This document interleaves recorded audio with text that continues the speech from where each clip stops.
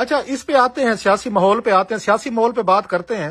आपने कहा था कि इमरान खान जो है मई में उनका सितारा अरूज पे आएगा।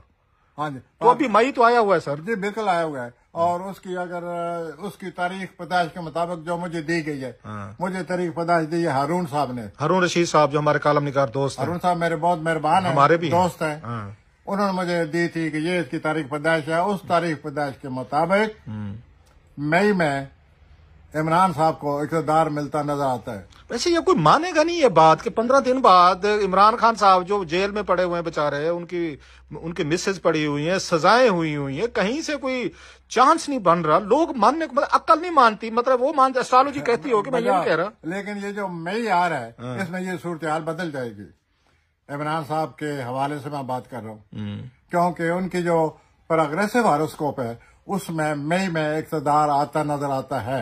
नहीं ये क्या करेंगे? जाके इमरान खान साहब को जेल से निकाल कर प्राइम मिनिस्टर हाउस आके बिठा देंगे। अ, जब इकतदार नज़र आते हैं ज़ाहिर है जेल से बाहर ही होंगे।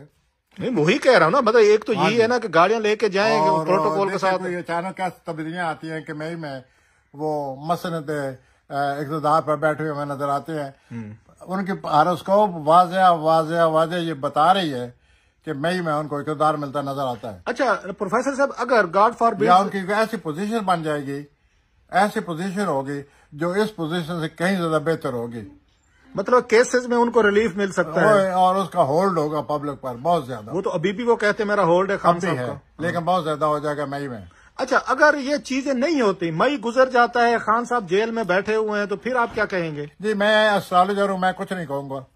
आप कहेंगे फिर ये तो वही वाली बात है जो उन्होंने की थी। नहीं बुखारी साहब ने की थी। उन्होंने कहा था जनाब कि ये केस जो होता है ना वकील नहीं हारता क्लाइंट हारता है। तो मतलब आपका भी वही साहब है कि जनाब की एस्ट्रोलॉजी अगर पूरी नहीं होती तो ये उसका कसूर है।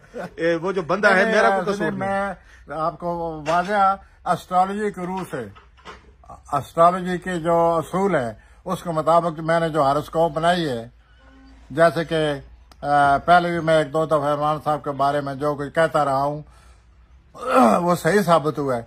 अब मैं ये कहना शुरू किया हुआ है कि मई में उनको इकतदार मिलता नज़र आता है उनकी नक्शे के मुताबिक। अच्छा।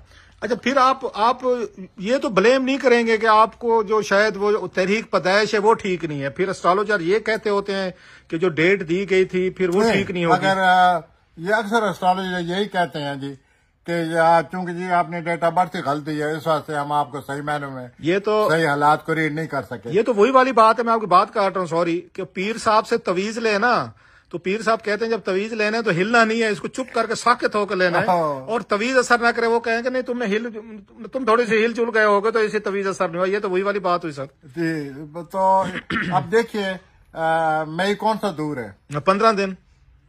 आज तो मुझे ऐसा लगता है कि मई के दस बारह मई यहाँ तक ये सूरत हाल जो है उनको प्लानट अपने इकतदार के खाने में आ चुके हैं। अच्छा।